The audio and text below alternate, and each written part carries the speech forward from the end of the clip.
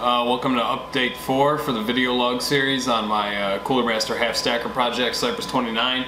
Um, in my last video I showed you the teardown of gray matter and kind of explained which parts are going to go where and in this video I'm going to build up the modded components that I have so far and some unmodded components just to test the hardware to make sure it's running. I want to uh, mod my motherboard and uh, I have a couple other things to mod and I want to test the parts and make sure they're up and, uh, up and running before I get too far into it. Uh, one of the main components for the teardown of gray matter that I needed was a 780 GTX. I had a EVGA 780 GTX OC edition uh, with the ACX cooler and that's what I was running in gray matter. I'm going to take the EK block off I had for that and put on the uh, Komodo block that Swiftech had sponsored this build with. Um, there's also another one that needs to be modded still and I'm gonna purchase the other card. That's the only card, I, uh, only big purchase I need to finish the project. So I'm gonna go ahead and remove this card and uh, or remove this block and put this block on. So I am really excited to do that. This is a really cool block and uh, this will be the first step. Then I'm to build everything up on my PrimoChill wet bench that they uh, sent sent to me for uh, testing components and uh, I'm gonna go ahead and get into it.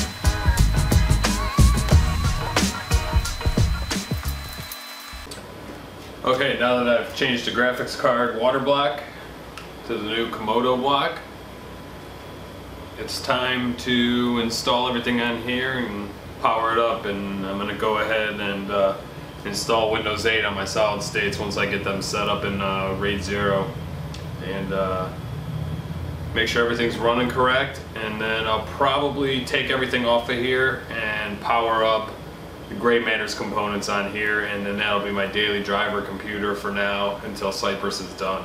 So I'm going to go ahead and uh, install all the components and uh, start uh, putting the water loop together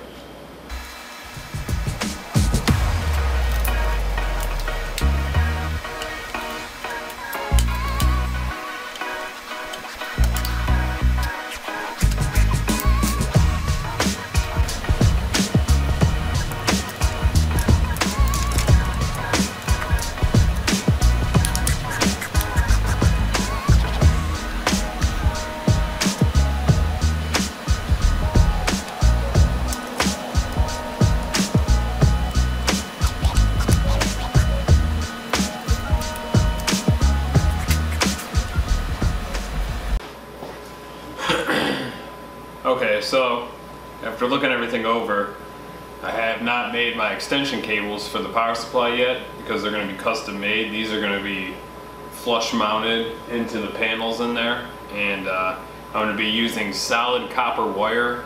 Uh, it'll be shielded but it'll be solid strand so I can bend the wires how I want to and I'm going to do some unique wiring in here with my extension cables and I haven't got around to making those yet. I was waiting until I started on the electronics. So I'm going to use my old Thermaltake 1000 watt power supply and just power it up with the, just a test. Really the only thing I want to get out of this test is to boot up the solid states, install my operating system and make sure my motherboard works. I don't even think I'm going to water cool this. I'm going to try to avoid to. So I just, just to get, get a couple things tested, get the operating system on and get up and running and then I know my motherboard's ready to mod. I'll take off the shell and paint it and do everything I need to do. So I'm gonna go ahead and get the stock cooler thrown on real quick, get this booted up and get uh, Windows 8 installed.